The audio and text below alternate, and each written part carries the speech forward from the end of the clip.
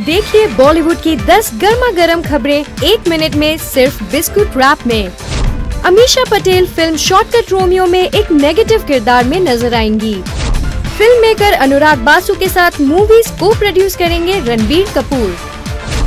धर्मेंद्र करना चाहते हैं शाहरुख और सलमान को उनकी फ़िल्म में cast Harry Potter fame actress Bonnie Wright नज़र आएँगी पूजा भट्ट की अगली फ़िल्म में।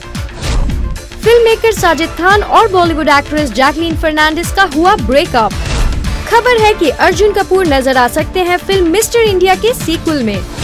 करण जौहर के 41वें जन्मदिन पर शामिल हुए बॉलीवुड के सारे बड़े सितारे।